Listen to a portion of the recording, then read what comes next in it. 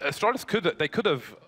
I, I don't know how you go for an early peek of five warps on train, to be honest with you, but uh, they, they could have gone to pick up some, some AKs afterwards. They've chosen not to. They're committed to this stand. They are committed. They're, they're taking this all the way, live or die. Oh, no. Tarik Oh, dear. could shut this down. Oh, no, this could go very wrong here for Astralis. Knife comes out. Tarik gets it. Revenge. And he gets the frag onto Kjaerbye. Shot in the back, though. Dupreeh in a one versus three. And he's got 35 seconds to go, so